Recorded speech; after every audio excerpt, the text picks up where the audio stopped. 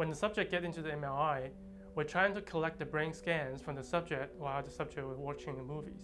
We take brain scans every two seconds and we look at the whole brain to see how the brain activity goes up and down at every place in the brain. After we acquired the brain scans from the German subject, we used deep learning models to reconstruct what the people see. And what is more interesting is that the model also can predict how the brain interprets what the person see. For example, when it is person, then the model can predict it's a person. What's new in this study is that for the very first time we showed that we can use a convolutional neural network to understand how the brain processes information while a person is watching a video. A major goal is to use machine learning algorithms to help understand the brain and then to use what we understand about the brain to advance artificial intelligence.